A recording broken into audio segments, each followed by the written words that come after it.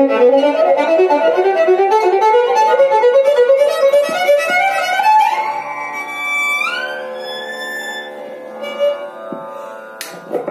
दोस्तों, मैं हूँ चिन्मय चिन्मय गौड़ और आप सभी का हार्दिक स्वागत करता हूँ वायलिन के लेसन नंबर थ्री में।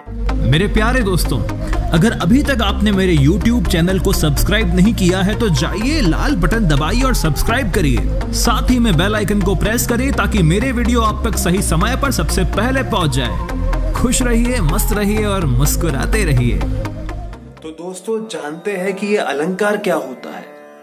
अलंकार जो है, संगीत में बहुत महत्वपूर्ण है, बहुत इंपॉर्टेंट है, क्योंकि पूरा संगीत का, संगीत जो है, इसी से ही बनता है। वैसे अलंकार का मतलब है सौंदर्यकरण करना, अलंकृत करना, सुंदर करना, है ना ब्यूटिफिकेशन करना। तो ये संगीत में ये रोल प्ले करता है। और अगर हम बहुत सिंपल शब्दों में समझना चाहे तो अलंकार इस different different combination and permutation of सुर। अलग अलग जो है सुरों के कॉम्बिनेशन कैसे? समझाता हूँ, चिंता मत करो। हमने लास्ट वाले वीडियो में सीखा, सारे गम पधनी सा, सानी धप मगरे सा। ठीक है? अभी, पहला अलंकार क्या बन सकता है? हम हर सुर को रिपीट कर सकते हैं। दो दो बार। कैसे? सा सा, रे रे, ग ग, मा मा, प प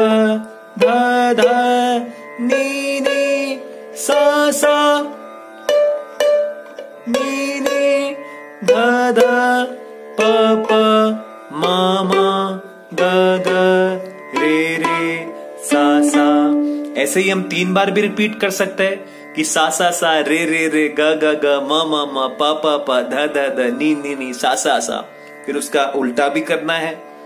और ऐसे ही चार बार भी कर सकते हैं, सा सा सा सा, रे रे रे रे, ग ग ग ग, म म म तो दोस्तों, एक शब्द है आरोह। ये क्लासिकल संगीत के अंदर बहुत यूज़ करते हैं। इसका मतलब होता है आरोहण करना। पर्वत आरोहण करना, चढ़ना। तो सुरोह को जब चढ़ते हैं सुर धीरे धीरे ऊपर जाते हैं तो उसको आरोह बोलते हैं, और जब सर, स्वर उतरते हैं तो उसको अवरोह बोलते हैं, है ना? ये बात ध्यान रखना। आरोह मतलब चढ़ना, अवरोह मतलब उतरना असेंडिंग और डिसेंडिंग ऐसे समझ सकते हैं। तो आपको ऐसे हर अलंकार का आरोह अवरोह करना है। उतरना भी है उल्टा फिर।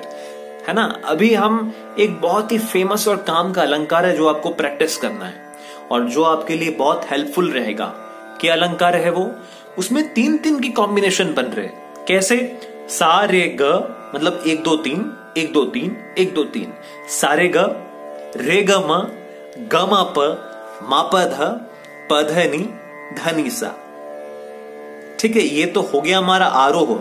अब इसका अवरोह क्या रहेगा? सानी ध नि ध प ध प मा प मा ग मा ग रे ग रे सा। तो दोस्तों आरोह क्या हुआ? सारे ग रे ग म ग म प म प द प द नी द नी सा। है ना? दिख रहा है ना आपको? फिर उसका अवरोह भी करना है। सा नी द नी द प द प म प म ग म ग रे ग रे सा। मैं थोड़ा स्पीड से कर रहा हूँ लेकिन आपको बहुत आराम से करना है। बहुत स्लो करना है। ठीक है? अब ऐसे ही ये तीन तीन का बन गया अलंकार, अब चार वाला बन सकता है, ये भी बहुत इंपॉर्टेंट है। कैसे चार का? एक, दो, तीन, चार, एक, दो, तीन, चार। तो पहले हम करेंगे सा से। सा, रे, ग फिर रे, ग, मा, प। ग, मा, प, ध। मा, प, ध, नी। प, ध, नी, सा। अवरोह करना है। सा, नी, द, प। नी, द, प, मा। द प मा ग, प मा ग रे, मा ग रे सा। ठीक है? तो आइए दोस्तों, सीखते हैं कैसे ये सब अलंकार जो है बो के साथ सही तरीके से प्रैक्टिस करने हैं।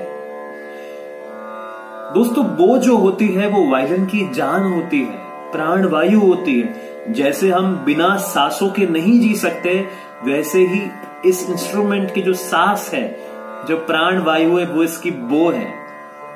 ये इसकी जान है। है ना? तो इसको बहुत सही तरीके से यूज़ करना है। अभी जहाँ आप फिंगर रख रहे हो, या जिस तार को आप बजा रहे हो, वहाँ पे ही आपको बो चलानी है उसी तार पे। नहीं तो साउंड ही नहीं आएगा ढंग से। और क्लियरिटी चाहिए। ऐसा नहीं कि आप साफ़ प्ले कर रहे हो और आवाज़ ब की आ रही है। या दूसरे स्ट्रिंग्स की आवाज़ आ रही है। स्टार्टिंग में दिक्कत आएगी, मानता हूँ मैं, लेकिन फोकस रखना है। बहुत अवेयरनेस के साथ प्रैक्टिस करनी है, ठीक है? अभी, पहला हम अलंकार प्रैक्टिस करेंगे, हर सुर को दो बार रिपीट करेंगे, है ना? सासा रे रे, ग ग म। तो सा सा, रे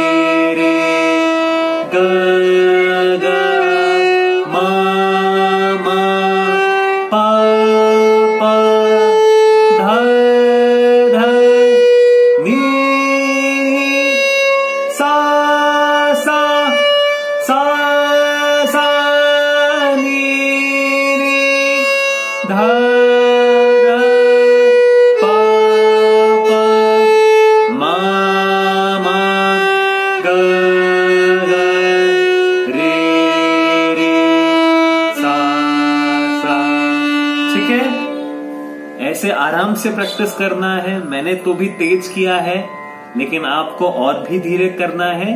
एक एक सुर क्लियर निकलना चाहिए, ये बात ध्यान रखना और वॉल्यूम में करना, एकदम कम वॉल्यूम में मत करना, ठीक है? उसके बाद हम तीन बार भी कर सकते हैं। कैसे? सा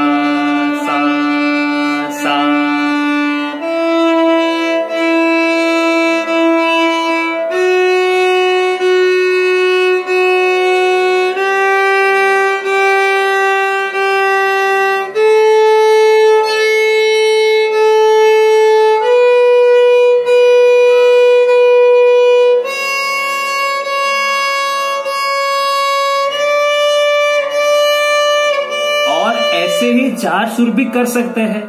तो धीरे धीरे ये सब प्रैक्टिस करना है। उसके बाद वो तीन वाला अलंकार तीन तीन वाले ग्रुप का कैसे सारे ग रे ग है ना?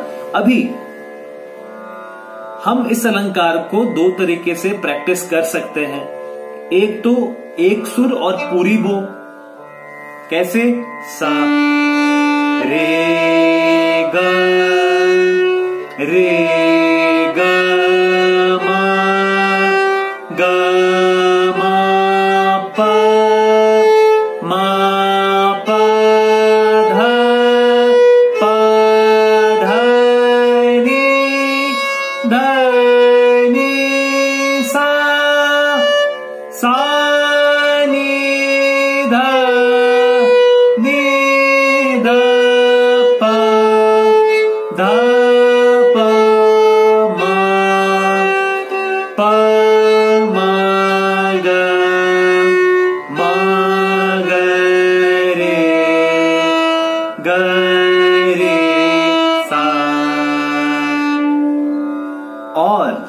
तो क्या किया कि हमने सा पूरा इसमें लिया, रे ऐसे लिया, ग ऐसे लिया, है ना? पूरा बो का प्रैक्टिस किया। अभी हम हर खंड को एक ही बो में लेंगे। कैसे? सा, रे, ग, रे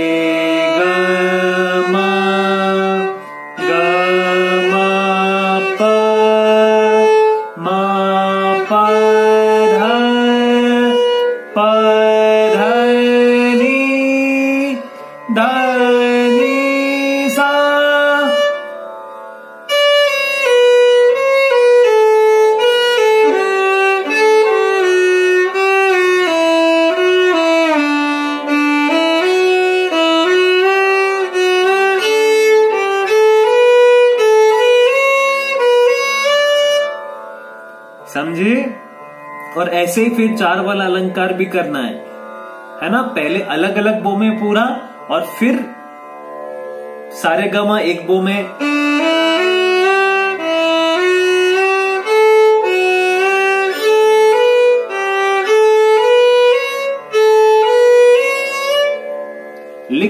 ध्यान रखना है। पहले तो बहुत तेज नहीं भागना आराम से करना है। प्रैक्टिस धीरे धीरे प्रैक्टिस कर करके अपने आप स्पीड बन जाएगी। लेकिन ध्यान रखना है क्वालिटी पे। क्वालिटी अच्छी आनी चाहिए। दोस्तों ये बड़ा सेंसिटिव इंस्ट्रूमेंट है तो फिंगर एकदम सही जगह रखनी है। पहले वायलिन सही ट्यून करके किसी से करवा लेना है। ट्यूनिंग करना सिखाऊँगा लेकिन सही ट्यून कर, करवाने के बाद सही जगह आपको उंगली रखनी है। ठीक है?